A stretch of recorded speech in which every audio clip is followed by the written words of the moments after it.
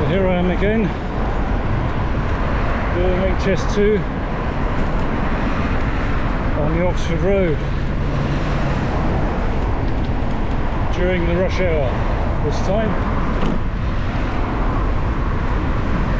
So we're reaching the point where HS2 will eventually cross over this bit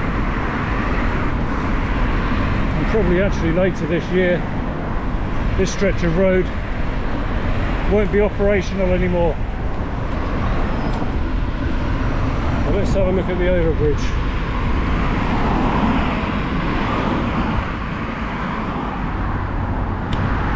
And there it is. So they've got the parapets up. So yeah.